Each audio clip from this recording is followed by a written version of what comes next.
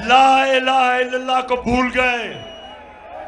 बजाय अल्लाह, कि तेरे सिवा हम किसी के सामने नहीं झुकते, खौफ के बुत के सामने झुक गए। और जुल्म हुआ। इस्लाम की तारीख का सबसे बड़ा सानिया हुआ। मैं आज अब पाकिस्तानियों को कह रहा हूँ कि तोड़ दो ये ये खौफ के बुत को तोड़ दो। ये जो टेलीफोन टेलीफोन आता है जी गुमनाम नंबर से धमकियाँ देने के लिए। वापस धमकियाँ दो उनको।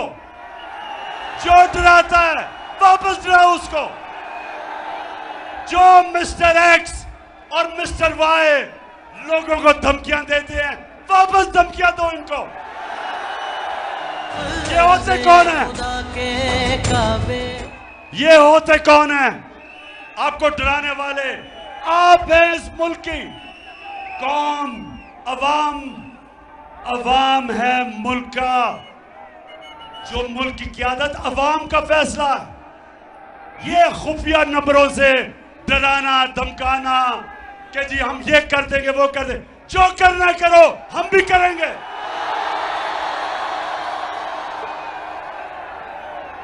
मैं आज अपनी सारी कौम को कह रहा हूँ, तैयार हो जाओ। हमने तमाशा देख लिया काफ़ी।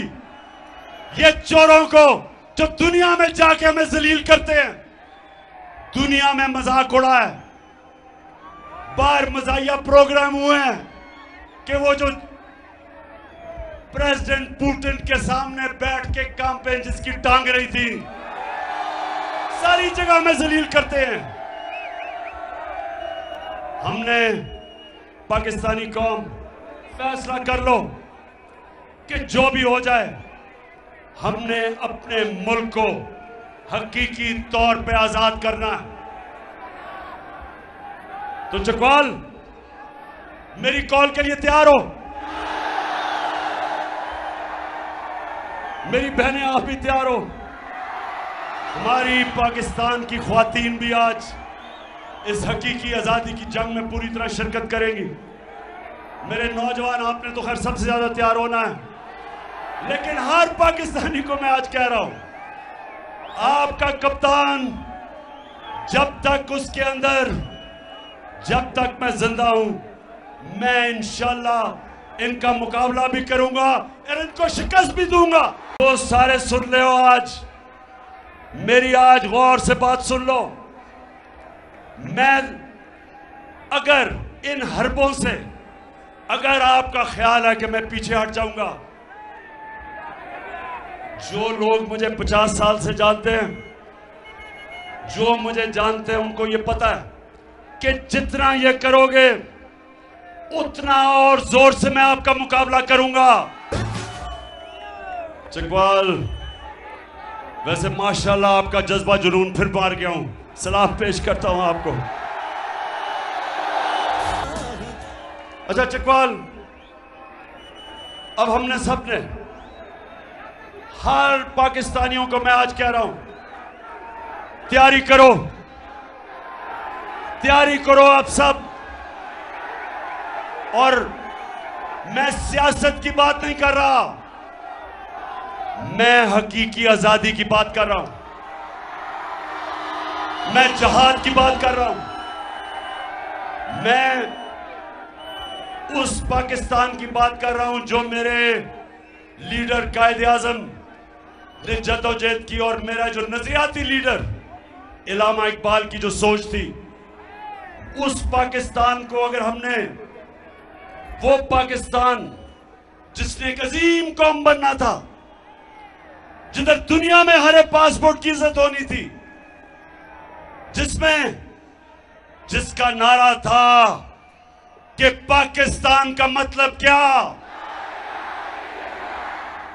ला इलाहा इल्लल्लाह। ए अल्लाह, तेरे सिवा हम किसी के सामने नहीं झुकते। हम किसी अमरीकी के सामने नहीं झुकते। हम किसी डाकू के सामने नहीं झुकते। हम खौफ के बुत के सामने नहीं झुकते। कूफा के लोग, कूफा के लोगों को पता था कि हज़रत इमाम हुसैन राय हक पे थे। कूफा के लोग जानते थे, लेकिन यजीद के खौफ की वजह से निकले नहीं। और इस्लाम की तारीख का सबसे बुरा सानिया हुआ, सबसे तकलीफ़ दे हुआ क्या हुआ? क्योंकि लोग डर गए खौफजदा हो गए। ला इल्लल्लाह को भूल गए। बजाय अल्लाह कि तेरे सिवा हम किसी के सामने नहीं झुकते, खौफ के बुत के सामने झुक गए। और जुल्म हुआ। इस्लाम की तारीख का सबसे बड़ा सानिया हुआ। मैं आज अब पाकिस्तानियों को कह रहा हूँ कि तोड़ दो ये ये खौफ के बुत को तोड़ दो। ये जो टेलीफोन टेलीफोन आता है जी गुमनाम नंबर से धमकियाँ देने के लिए, वापस धमकियाँ दो उनको। जो डराता है, वापस डराओ उसको। जो मिस्टर एक्स और मिस्टर वाई लोगों को धमकियाँ देते हैं वापस धमकियाँ दो इनको। ये होते कौन है?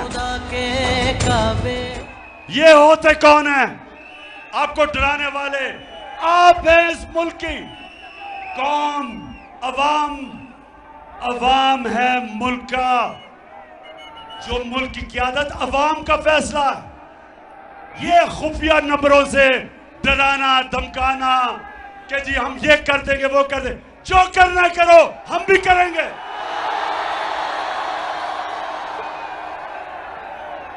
मैं आज अपनी सारी कौम को कह रहा हूँ, तैयार हो जाओ। हमने तमाशा देख लिया काफ़ी। ये चोरों को जो दुनिया में जाके हमें जलील करते हैं, दुनिया में मज़ाक उड़ा है।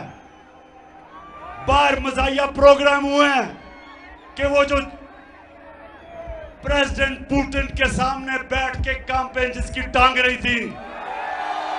सारी जगह में जलील करते हैं। हमने पाकिस्तानी कौम, फैसला कर लो कि जो भी हो जाए, हमने अपने मुल्क को हकीकी तौर पे आज़ाद करना है। तो चकवाल मेरी कॉल के लिए तैयार हो। मेरी बहनें, आप भी तैयार हो। हमारी पाकिस्तान की खातन भी आज इस हकीकी आज़ादी की जंग में पूरी तरह शिरकत करेंगी। मेरे नौजवान, आपने तो खैर सबसे ज़्यादा तैयार होना है।